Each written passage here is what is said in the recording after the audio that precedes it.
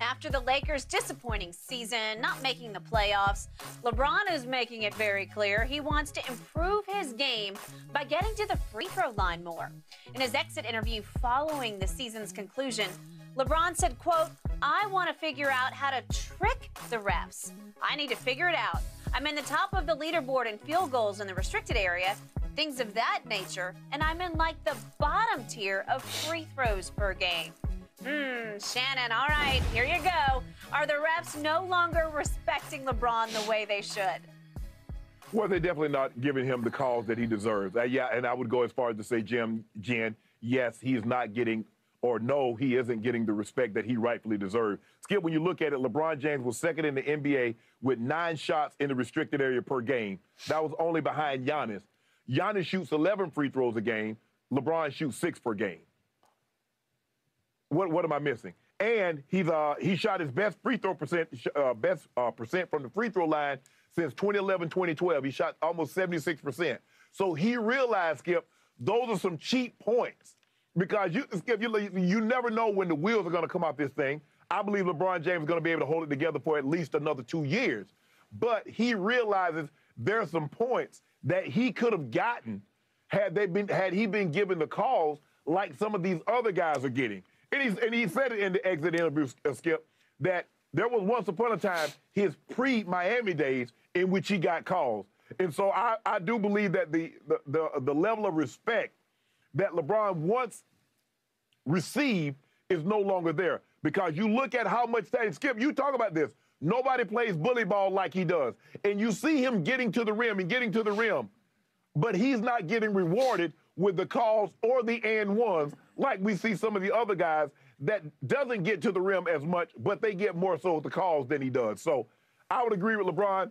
LeBron, I don't know how we're going to trick him, but we got to trick him somehow to make him think there's some fouls called. Go, go to James Harden school. Go to Embiid school because they do a great job of tricking him. So help me out here. Why would a man want to shoot more free throws when he's such a lousy free throw shooter in the first place? Why would because you? Easy points. Easy points. They are called free throws. And That's right. We want them. What I hoped I would hear in LeBron's exit interview the other day was, I'm going to dedicate myself to shooting a thousand free throws a day in the offseason, and I'm going to come back a much improved free throw shooter because he has always been, by his standards, you call him the GOAT, he's been yeah. a pathetic free throw shooter. And the irony is, if we just look at this past year, if you go back the previous five years, over those five, he had averaged from the free throw line 69.3%. Yes. That is all time bad for a player of LeBron's magnitude, for a quote unquote best player on the planet during those years. Then last year, he stumbled into this new routine, which I lauded. I lauded and applauded it, but it's big, deep breath, one big dribble, let it fly. Don't overthink it. Don't get caught up in it. Don't do five dribbles. Don't get shaky handed. Just let it go. And he improved all the way up to, you ready for this? 75.6%. You ready for this? 76. Huh? 76, 75.6%. That ranked 86th of 112 qualified free throw shooters. 86. That means you're in the bottom one fourth of the league, even after you dramatically improved last year. Bottom line to this the refs know what you do. The refs are uh, just keenly aware, acutely aware that James Harden will make his free throws and they will reward him with the foul call to a fault, certainly in past years, because they know he'll go right to the free throw line and swish both of them because he earned the right to do that, and then he cashes the right. Skip right? Bayless, I would I would hope that official would would not say, you know what, that's not pass interference because Shannon Sharpe wasn't gonna catch the ball anyway. What kind of bull job is that? It's Did a reputation call or not call. and LeBron has a reputation among referees of being a sorry free throw shooter, even Look this here. past year. So LeBron was at 75.6. Steph, regular season, this past regular season, shot 92.3. Whew, that was second. Uh, Jordan Poole won. By the way, Jordan Poole won it with 92.5. And by the way, Yeah. my man Kevin Durant was third in the league at 91.0. Wow. yes. You're kidding. Skip, they're- James Harden Skip, was at better- 87.7. LeBron at Skip, 75.6. Skip. I'm sorry. They're better.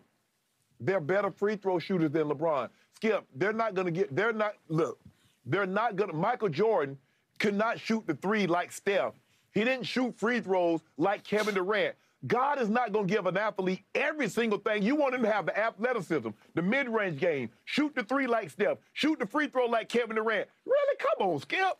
Shannon, free throws are not God given, they're man made, especially for a LeBron James who shoots so many three point shots and he's got that wicked fadeaway. Just You go shoot them until you can make them. Again, for him, he's got demons in his psyche. Uh, It's, it's like Well, Ben put us on the free Simmons esque at the end of the game. Guess, and guess what? Next year we're gonna do Skip Bayless. We bumped it up this year. We going all the way up to 77, 78 percent. You want to put some dew on that right now? You, you plunged out to the end of the limb with 77% when he shot 76. I'm sorry, 75.6. So he's already at 76. So you say he's going to tick up 1%? I'm going. I'm going to 78 percent. Okay. I'm going to 78 percent. Have the courage of your convictions and go to 8 0. If you want to go to 8 0, I'll do 10 cases right Skip, now. Skip, Skip. The man is hello. He's never shot 80 percent in his career. So you expect him to have a career year from the free throw line in year 20?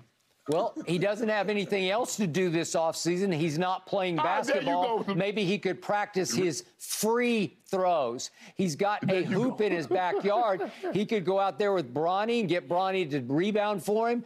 Shoot, could you at least shoot 100 a day? You, you could afford to pay somebody to come rebound for you and shoot a 1,000 a day. You could come back and make 80% next year if that's what you so chose. You said over the last five years he went from average of 69.3 Yep. to 75.6. He did. So that's a six percent increase. Wow. So you know what, Skip?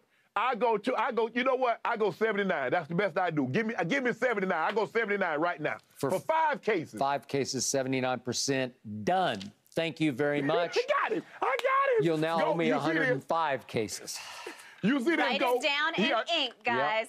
He in the backyard Thank you. right now. All right. Coming up, gentlemen, I need to know if you think Ja Morant has competition as the future face of the NBA.